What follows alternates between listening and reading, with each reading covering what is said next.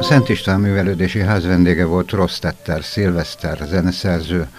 A Daloskert szerzői esten olyan dalok csendültek fel, amelyek megerősítik a szerzőhitét, hogy művei hangzás világával, amely számára szolgálat is, segíti a magas kultúrát kedvelőket a zenei élmény befogadásában. Ez a koncert, ez lényegében a tavaly novemberben az Óbudai Társaskörben megrendezett szerzői estemnek a másolata, de nem egészen másolata, mert akkor ott csak Cigány, Cigány Ildikó és édesapja Cigány György verseiből voltak ö, énekek, dalok, most pedig még egy ö, szerző is fölkerült ide a palettára, Svite Anna, ö, egy dala is el fog hangzani. Rostetter Szilvester vallja, hogy az ember lelkét gazdagító zene Isten dicsőségét énekli meg akkor is, ha a szerzőjének nem ez a szándéka.